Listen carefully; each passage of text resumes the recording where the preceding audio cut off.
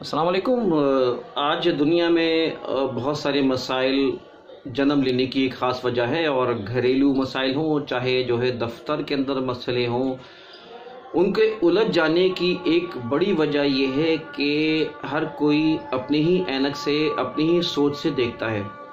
वो कभी भी दूसरे की सोच से नहीं देखता, दूसरे की ऐनक लगा के नहीं देखता।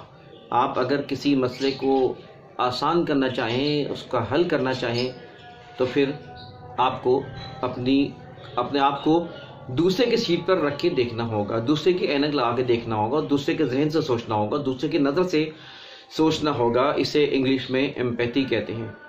यानी आप किसी भी मसले का हल अगर फौरी चाहते हैं, जल्दी चाहते हैं तो आपको चाहिए कि दूसरे की नज़र से देखें, दूसरे के सीट पर जाके देखें कि उसके, वो किस नज़र से देख रहा है, वो क्या मसाइल है। आप दूसरे के मसाइल को समझे हुए, दूसरे की जो है गुफ्तु को सुने बगैर आप मसले को हल नहीं कर सकते।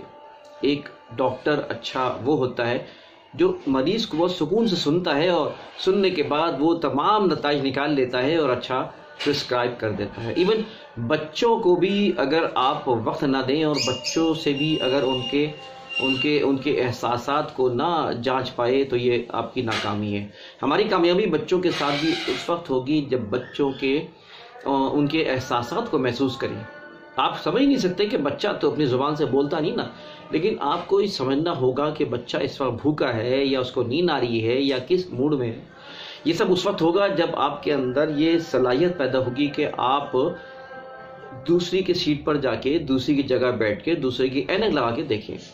तो लिहाजा मसाइल का एक बड़ा हल यही है कि हम दूसरे की एनक लगा के और दूसरे की नज़र से देखें। तो हम बहुत से मसाइल को आसानी से हल कर सकते हैं। बहुत शुक्रिया।